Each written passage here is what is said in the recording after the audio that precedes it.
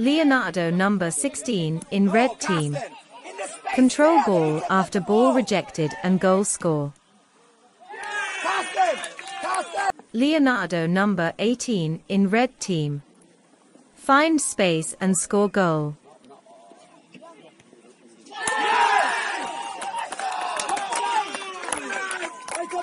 Leonardo number 7 in blue team. Receive and shield ball, dribble, made a pass through ball, move and score goal.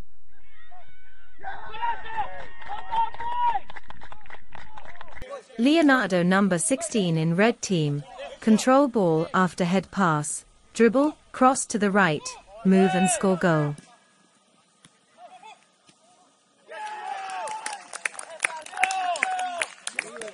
Leonardo number 18 in red team, receive and pass ball to the right winger, keep running and shot on goal.